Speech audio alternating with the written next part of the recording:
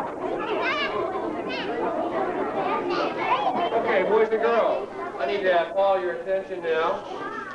This is a very special day for you guys because only the kindergartners and the gold team are going to be seeing a very special program that's going to be put on this evening. As you were in the gold team today, we did a lot of videotaping of you guys for the literary festival coming up next week. So this is someone else's turn. This is someone else's turn to sort of present for us.